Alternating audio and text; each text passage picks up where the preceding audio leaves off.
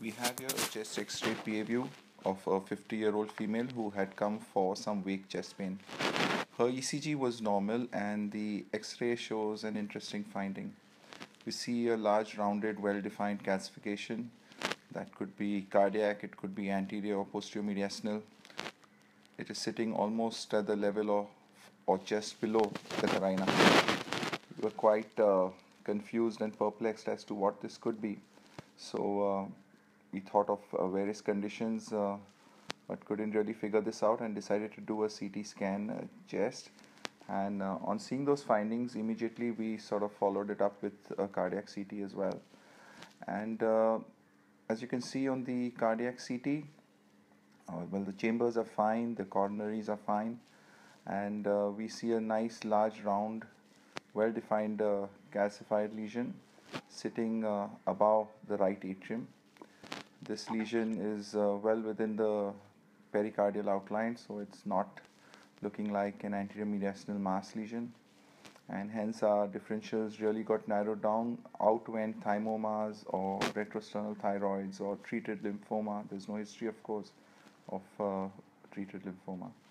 And uh, we could narrow down our differentials to a large area of calcified uh, uh sort of mass lesion or lesion in the right atrial appendage or perhaps uh, just some pericardial calcification.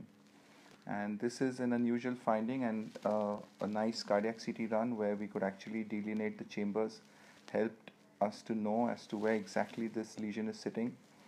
We prodded the patient with some history and we realized that she had an x-ray chest done six months ago. Uh, we called for it and uh, the findings were absolutely similar. There was no change in size.